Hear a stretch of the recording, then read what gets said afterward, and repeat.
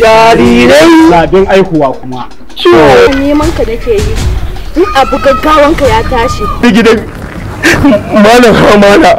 To shi ko malam hamana shi ne ce ga abin da za a aikata.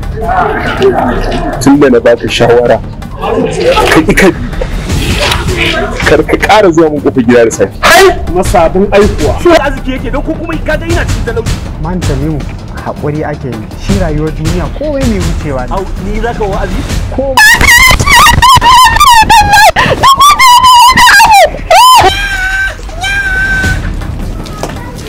ɗauka ni ni shi.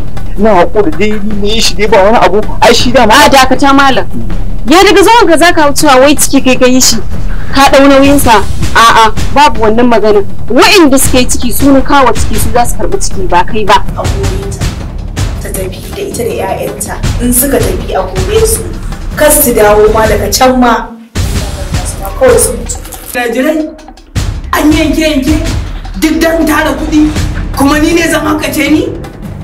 To tilera na man gyaɗa shine ruwan sha na. Kuma mutum jira malam. Ina zan samu jira malam da zan mata zai malam kar ka da mu ni in dai haramun ne ina so. In halak ne ma ina so. Yake haram yake halak. Kin gane ko? Ki kashe auren ki ki aure ni. Saboda na san ni da ki kamar mun fi fahimtar juna akan wannan walallen mijin nan naki wanda sai sai ya ji yayi da ko yayi gwari zai kawo muku abin. Domin kawun ki ma da aka ce na tun mashi kwanaki aka kafa ni da miliyan goma ni ne mutum da ke da shi ne da yara kana kai cikin yau za a nemi jinjira. Za ka yi amfani da ita.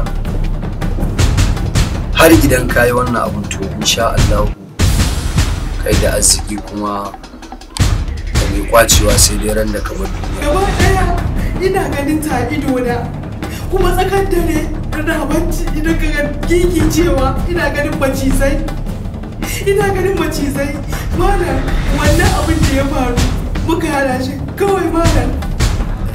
Baka kyauta ma rayuwarka akan abun duniya ka sa aka shi abokin kasuwancinka dan ya fi ka nasibi baka kyauta ba. Wace ta yi da shi?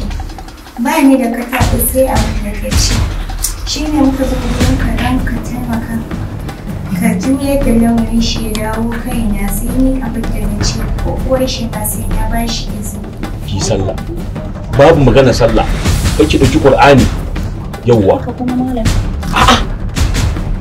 to ya kike so ne wannan hanya ita ce ƙwallon shi na mana kai ne zaka koya mana aiki? Ka sanya muke da wannan ne? Ka sani na ce ma? Da da kanan waje kamar yankan reza. Eh aiki na ya fi ƙarfin yankan gajiya abin da yasa nake bin mutane ne saboda imanin su kai raunana.